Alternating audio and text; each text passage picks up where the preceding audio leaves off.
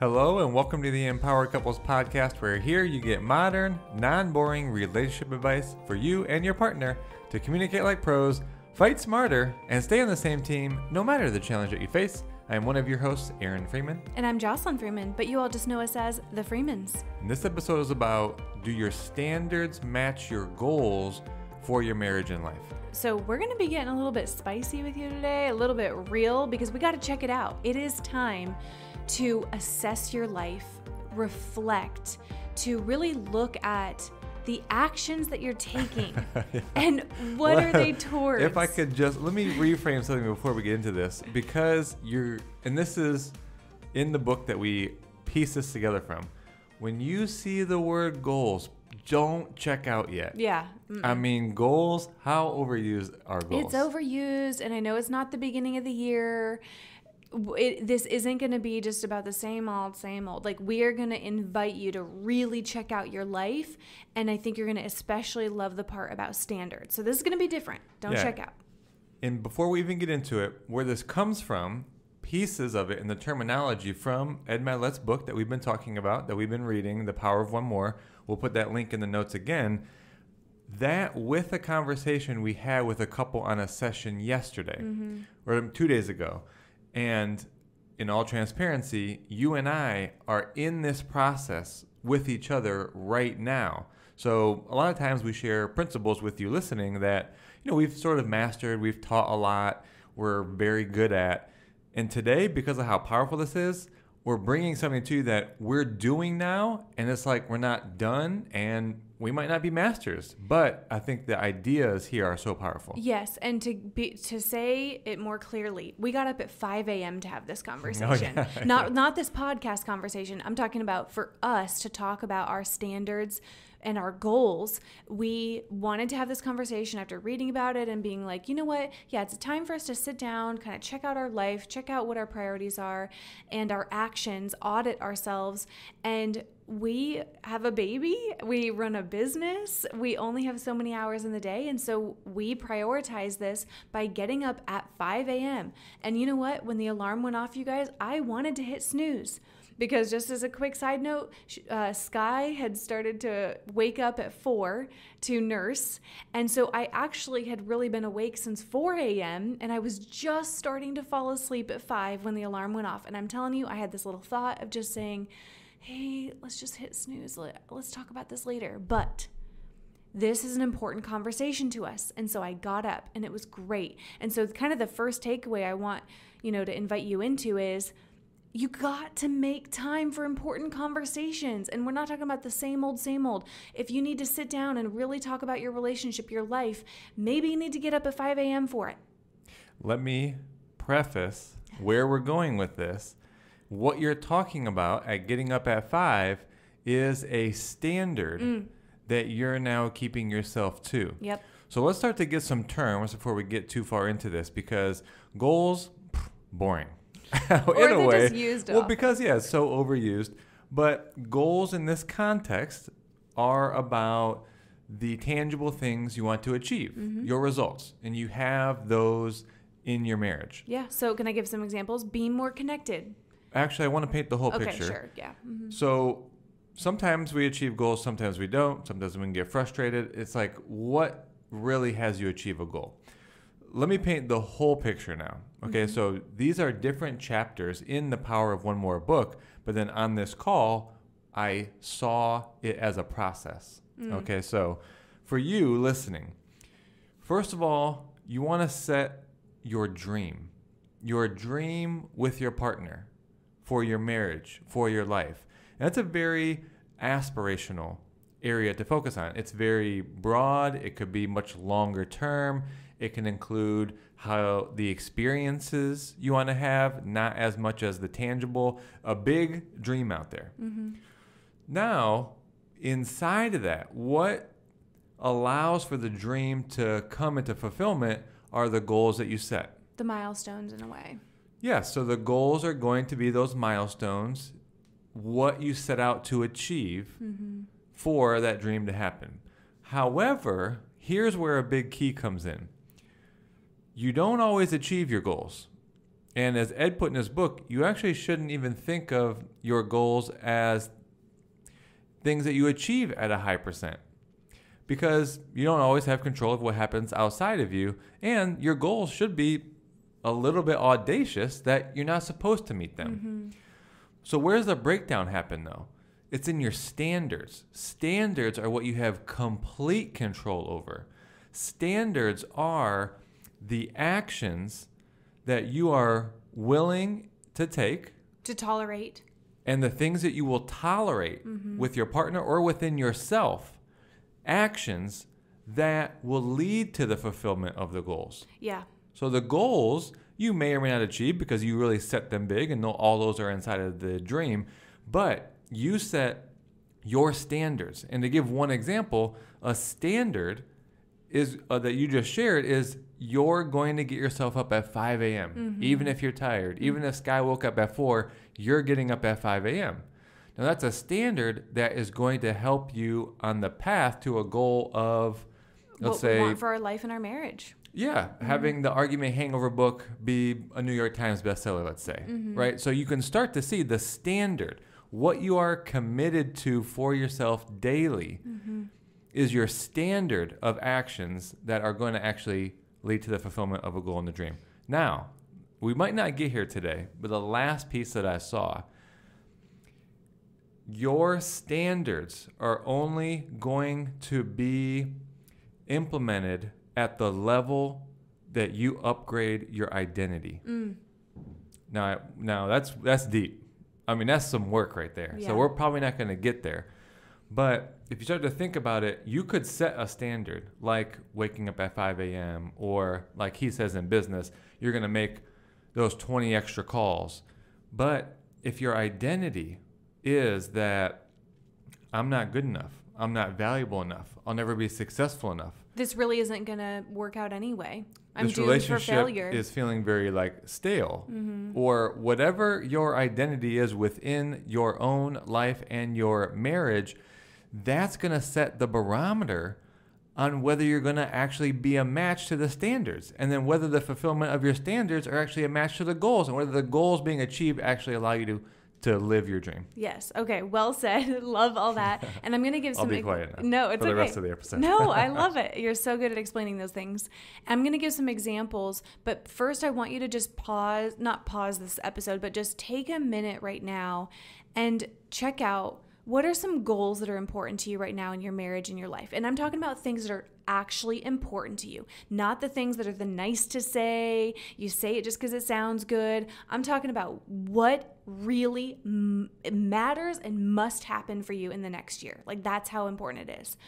And then start to ask yourself if I'm honest, have my standards been matching my goals?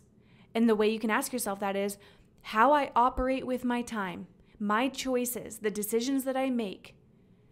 Do, is that a match for what I say I want and what's important to me? What I what I tolerate from myself? Hmm. What is acceptable? The way I show up, the way I'm acting, is that a hmm. match get it for what I say I'm committed to in the marriage and my life? So I hope right then you're a little bit like, okay, Freemans. Because uh, think about this. You could set a goal, and this is going to be more so for people that we've coached with, right? But let's say you set a goal that you increase your love tank with your partner, or that your partner experiences more love and support from you. Okay, but if your actual standard in your day to day life is that you only make one to two bids a day, mm. or at the end of the day, you watch TV, you got to check yourself. Yes. Your standards are way too low mm. to ever reach your goal. I feel like my partner is going to feel so much love and support, and then you're watching TV at the end of the day without it being an expressed expectation and all that stuff. Your standards are no match for the goal, and you're never going to reach that goal. Exactly. So, some others here. You say you work hard in your career for your family. You're like, I have a career goal because then it's going to allow us to save a certain amount and then we're going to be secure. But really, even though you say it's for your family, your standard has been not having enough time for them. Hmm. Then, really, is it really for your family? And is that a oh match? my gosh. Okay. Whoa. Another one, you say you have a goal or a priority of love and connection in your marriage, but the standard you're accepting is not repairing after an argument for three days. Oh my goodness. You are tolerating that from yourself. You wait for them to come repair to you. Yeah. So you, but you claim Whoa. you have a goal and that it's important to you to be connected and loving, and yet you tolerate from yourself being silent for three days. It is not a match. We are calling you out. Your standard does Wow. not match your goal. Another Let me one. see something. Okay. You don't have time to do this. This is deep work. But your identity at that point is probably this is never my fault. Mm, And then that's why you're waiting for your partner to come and initiate. And that's why your standard is no match to the goal you quote unquote say. Mm. Yes. See, you can talk this big game, and this is one of the problems in relationship where your partner starts to not trust you and and not to think that you follow through because you set these goals You say these things. and you don't upgrade your standards to be a match to that or go work on your identity to even upgrade the standards and reach the goals Yeah. so your partner's like i can't trust them Mm-hmm. They say they do them." these things and they never follow through Yep. Yeah, where where is the alignment? Where is your aligned action to it? Another one is you could say that you want your kids to have the best upbringing, be in a loving home, but the standard you accept is constantly being an overwhelm and raising your voice at them. whoa Sorry about it. I'm just saying that I'm just Don't saying some things. sorry i'm not sorry If this triggers you, I love you and it's okay. this is just a moment of reflecting. You know, even it's easy to go to health. You say that your health is a goal. I want to be this fit, I want to be this strong, but your standard has been eating crappy food and not exercising. Mm-hmm. Come on, okay? Is it actually a goal? Is it actually important to you? We're not talking about these fluffy, nice to say things. I'm talking about you doing an audit and what is actually important to you and then truly do your standards match that and if not then you got to have an honest conversation with yourself about okay is the goal really not that important to me then do i need to let that go or what the heck do i need to do to raise my standard and what is acceptable Yeah, a part of that might also be, and again, we're exploring this for ourselves. It might not be that the goal is as important enough to you. It might be that you're not connected to the bigger why for the mm-hmm. dream, then. Mm-hmm. Right? The dream, and this is really a place for me that I'm really exploring. I feel good about a lot of the things, and I've been exploring this with some friends and sharing this with you. But I'm like, what is that thing that I feel the burning desire and passion for it? Maybe you need it, maybe you don't, I don't know. But that would drive me forward with such ferocity and commitment. Then all of a sudden, you could see how your standards get upgraded for the goals because the why is such a burning desire that pulls you forward. A personal one I want to share right now, just in the parenting journey, is I could say to anyone that I have a goal and a, a priority of taking care of myself mentally, emotionally, physically, spiritually, that that's important to me. That's a top value. However, my standard lately has been deprioritizing myself not taking care of myself in terms of not going to the gym, uh, not doing any self care activities. And I could come up with all these excuses as to why, but I had to be honest with myself about my standards. And so, even just in our audit and our conversation about this, I've already made changes. And I had acupuncture, I got a pedicure, I've been to the gym twice this week because I was like, I can't claim that my mental, emotional, physical health is that important, and yet my standards are the complete opposite. Hmm. Right? So that's one example. Can you think of one in particular that we've already made changes on or we noticed?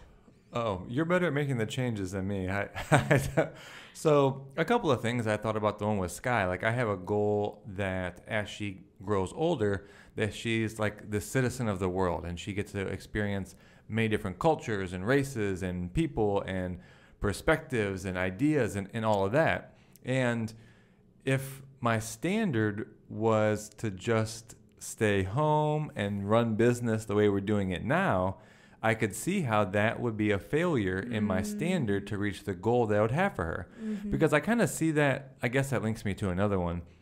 I know that a goal for me is to be out in the world, to meet new people. I'm an extrovert, I get filled up by that. I know making great associations and connections is something that really fills me up as a generator. We just talked about, you know, our types in the last episode. And then to be honest, both of us will be in the house for days, you know, doing coaching calls and these podcasts and things like that. So there's definitely something missing for me in my standard. Mm-hmm. And maybe my identity that's not actually having me get out there Yeah. and make the additional connections and go contribute to a group and align myself with with bigger thinkers and other organizations and and create something else i'm you know here i am in the house another week goes by and Barely left. I only went to the gym and that was it. and that's that's why we're doing this reflection now and there's still changes that we want to make but we're doing this i wanted to give a, a marriage one that i think has benefited us and even led to us kind of writing the argument hangover book is we established early on because we both came in with unhealthy conflict patterns that we were unwilling to be disconnected for days after arguments. That is just a no go. That is a goal, a standard. And so for us, it is repair quickly. That is a standard. And that's one we'd want to invite all of you into, right? So let's break this down a little bit. Break it into what the goal would be and then what the standard inside of that is. I think the goal being tr- healthy conflict, number one, Mm-hmm. um, but even more specifically, is like being connected and not wasting life. Is the kind of simplest way I could say. yeah, say well it. then the goal would be right not to have an argument hangover hangover go longer than like 2 hours. yeah, well, that's that's we got there. We didn't Yeah, I know, start yeah. there, but So then, then what would the standard be? Mm-hmm, is that we repair. Like we each, we don't just sit around and wait for the other person. We take it on. I'm going to initiate repair. That's right. So that's just a, like another marriage example. We've given some. We've given health. We've given parenting. We've given your career slash importance for family. But really, check it out. And maybe you need a, a worksheet. You know, something we did. We had paper out for this conversation at 5 a.m. So first off, number one, when are you going to have this conversation? Oh boy. Would love to know. So feel free to message us. when are you going to have it? Also, get some paper out and a pen and write out what your goals and dreams are the real ones, not the nice, airy fairy. They're nice to say what really matters to you. Then really check out what your current standards have been. And that being again what those kind of toler what you tolerate from yourselves, the actions that you've been taking, how you operate with your time, your choices, and even get granular like, well, our current standards have actually been watching four hours of TV at night. Our current standards have been ordering in fast food three times a week, right? Like, get very tangible and specific, and then look at what your standards really need to be, could be for the goals. And then it's about making changes. That's changes. a good point. Let me just close this out by saying even if you can't quite accept those standards, to identify what they would need to be Mm-hmm. for those goals.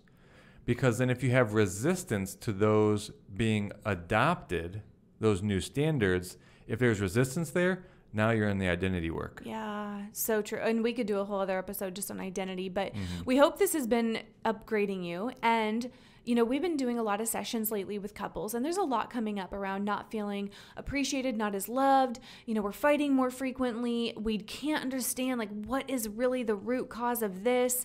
And that's what we're here for. So we have three spots available in August. We only open a certain number of spots every month. July was jam packed. Like, we've done so many sessions in addition to our travel. So we just have a few spots for August and we can support you in having a breakthrough. So go to meetthefreemans.com slash coaching. You can read the details, and then at the bottom of the page, you pick your time slot. And we get into it. Like it's not just, oh, tell us about you and tell us about the challenge. We get right to the heart of it. We get right into a tool. And a couple today at the end was like, wow, like this clarified so much. It, it felt so complex before, but it's simple. We can actually do something about this. So really book a session with us. Meetthefreemans.com slash coaching and send us a message about your standards, your goals. We hope this fired you up. We love you and we